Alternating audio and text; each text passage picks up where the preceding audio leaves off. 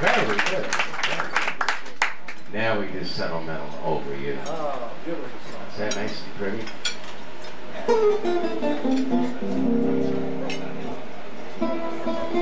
pretty?